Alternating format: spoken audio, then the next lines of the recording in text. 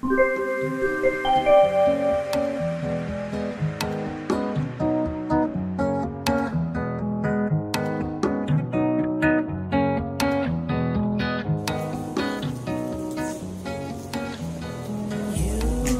мой отпуск начался.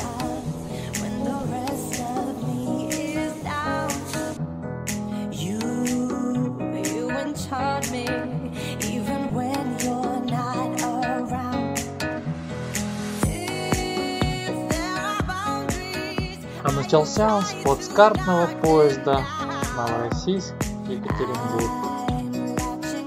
А если вдуматься, то нет ничего романтичного слова поезд, ведь оно происходит от глагола ездить.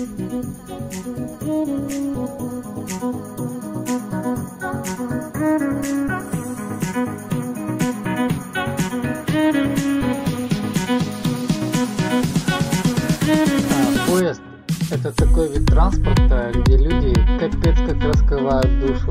В поезде предельно откровенный разговор начинается через минуту после начала разговора. Кстати, знаете, почему в поездах такое запредельное откровение? Потому что вы едете в кроватях. Вы задумывались об этом? Вы едете в кроватях в другой город. Какие могут быть секреты?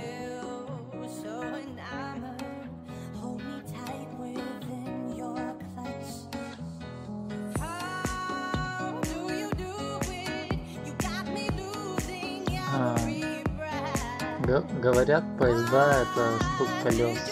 В этом есть какая-то романтика. Так вот, я так не считаю. Мне кажется, в этом есть какая-то романтика, только если ты едешь в поезде один. Один во всем поезде. А вообще путешествовать э, на поезде означает видеть природу, людей, города, церкви, реки. В сущности, это путешествие по жизни.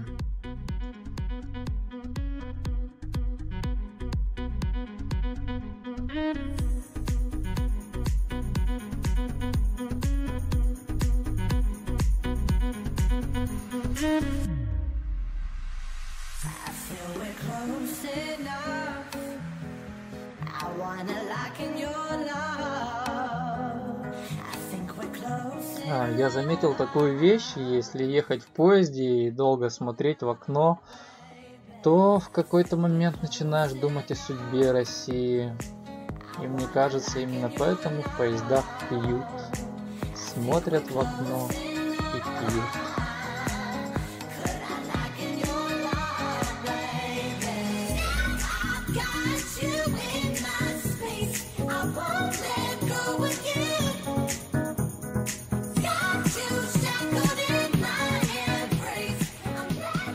А стук вагонных колес, как стук счастливых сердец.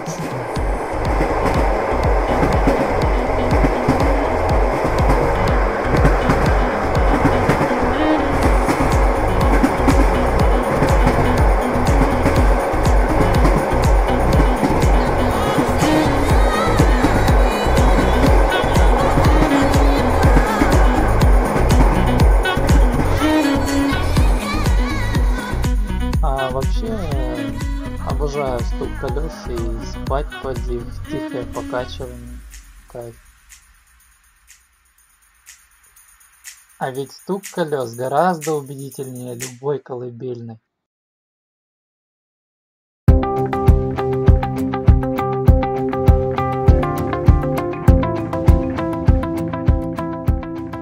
Чем медленнее идет поезд, э, тем шире просторы нашей Родины. Поезда по гудкам и по стуку колес. Знаю я, что узнаю всегда тот, который бы тебя привез. Распознаю среди тысяч огней, отличу среди многих других.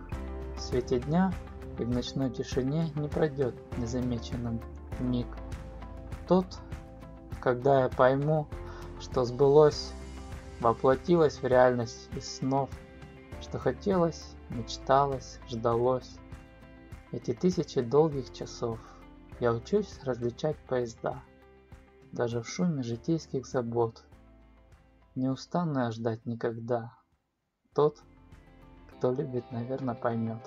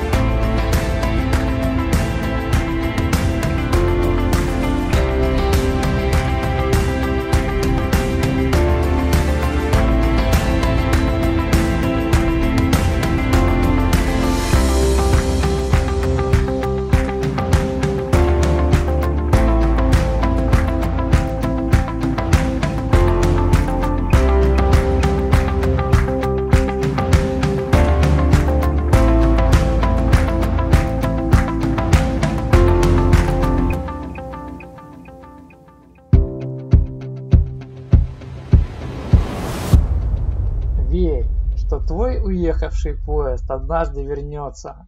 Крепко верь.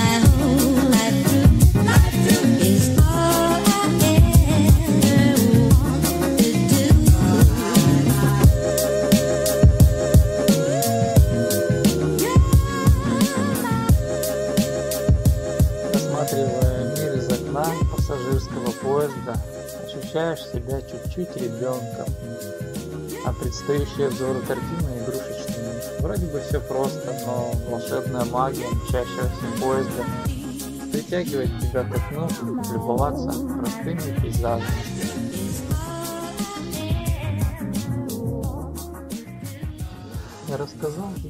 Много, но также много не сказал.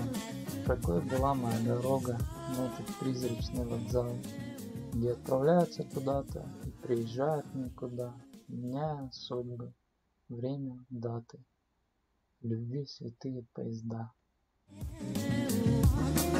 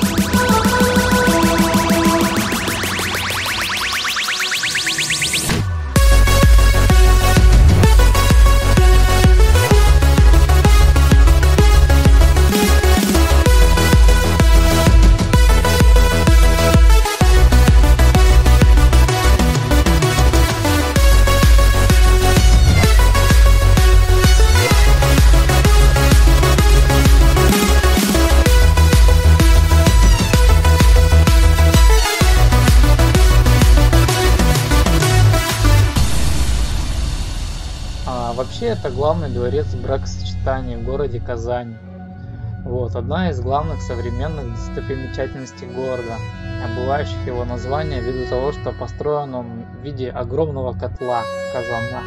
На крыше расположена смотровая площадка с видом на Казанский Кремль, Кремлевскую набережную и округу, а открыт он 5 июля 2013 года.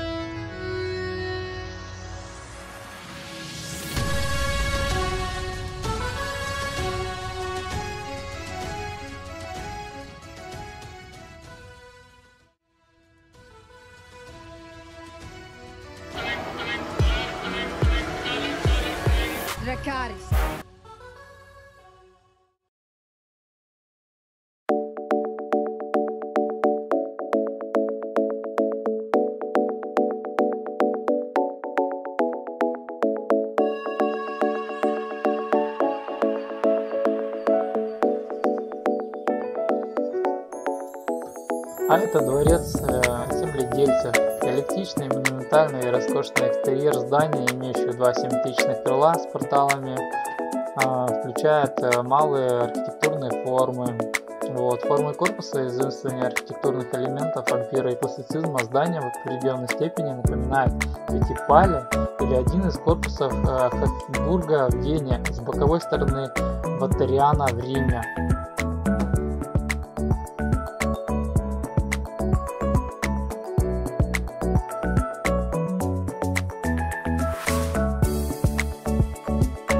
Это Казанский Кремль. Очень уникальное место и очень советую вам его.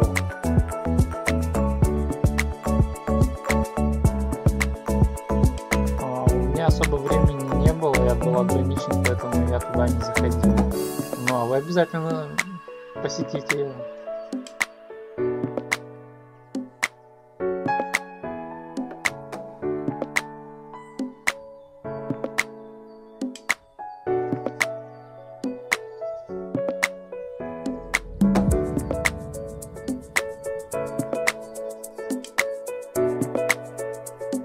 Подписывайся на канал, ставь лайк и пиши комментарий по поводу любите ли вы поездки в поездах и бывали ли вы в Казани. Пока-пока.